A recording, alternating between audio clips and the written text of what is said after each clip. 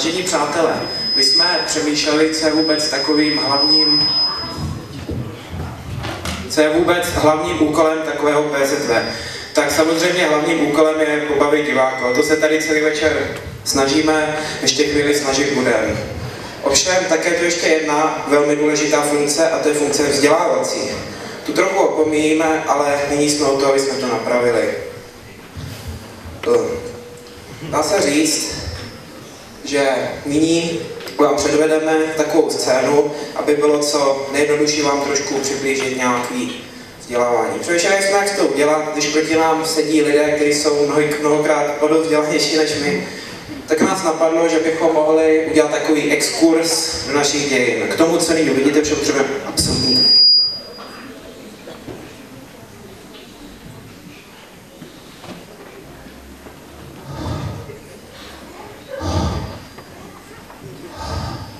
Slyšíte?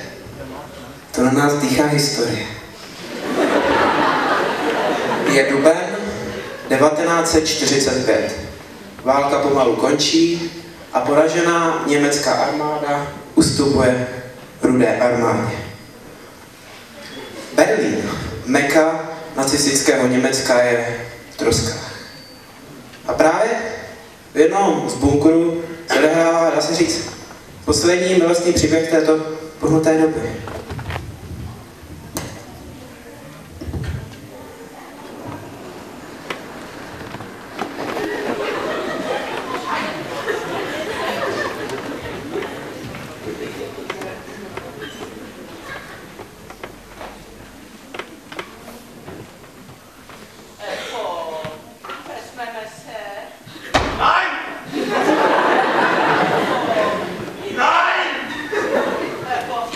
Director, uh, First Members, uh,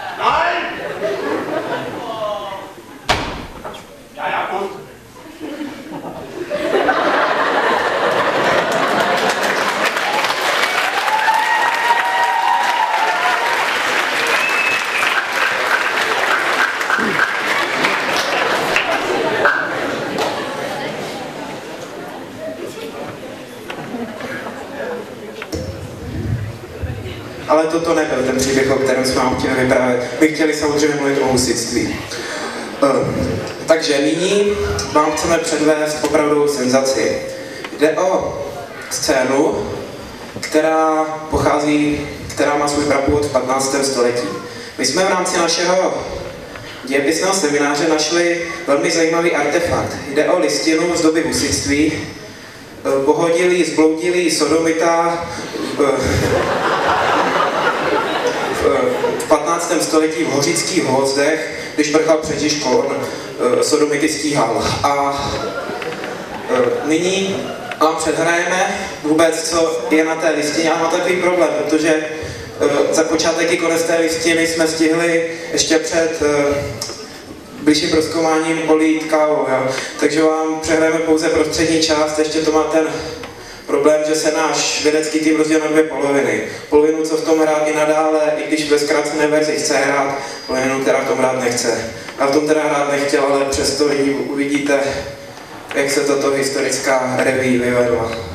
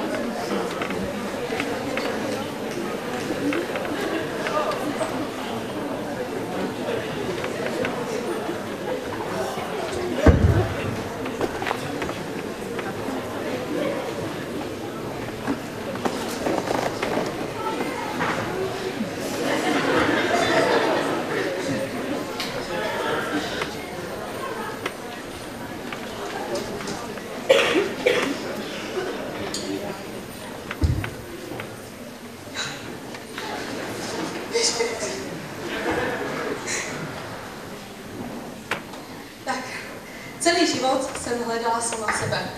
Můj život nestojí za nic. Jí na horkách, koupíte si tam sekačku, koupíte si odkledačky, ale pro ten pitomý rohlík stejně musíte vedle do studence. No, a tady vezměte sekáče. Na nic lepšího se totiž nezmůžu. Ale co si budeme povídat? Taková Coco Chanel, to taky začínala od.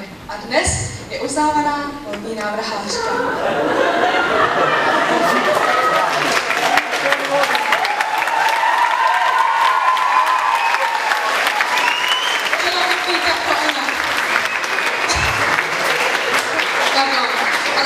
Ale ne.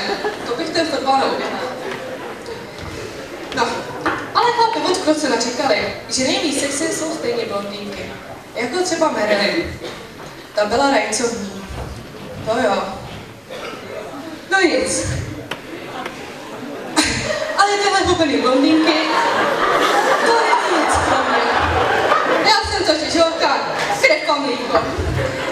No, taková Marie Terezie, to byl Musinský. Chytrá byla. A těch dětí, co měla. Já se z těch dětí zblázním. Mám nápad. Zavedu povinnou školní docházku. Tak to zas ne. Taková hloupost mě by nenapadla. No, ale ten trůn a tu korunu, to bych si nechala. Taková Kleopatra, ta byla krásná. Chytrá byla, celý svět se jí klaněl. No, až na tu smrt. Ošknul, ta byla docela veselá. Ale podle všeho je už. No nic, měla být průbojnější.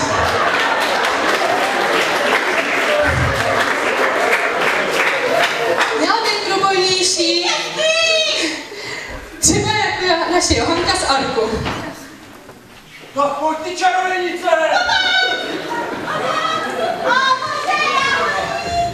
No jo, ale ty se nevážili. Prohlásili ji sice za svatou, ale až po smrti. Ale čový to bylo. No, ale nezůstáváme při zemi. Pojďme do oblak. Jako Amálie Earhartová. Určitě všichni znáte. Byla to první žena, která přeletěla Atlantský oceán. Ale ten tichý oceán moc nedopadl. Teda spíš dopadl. Dopadl.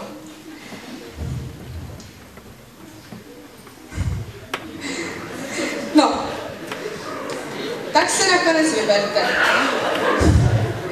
Proč být chytrá?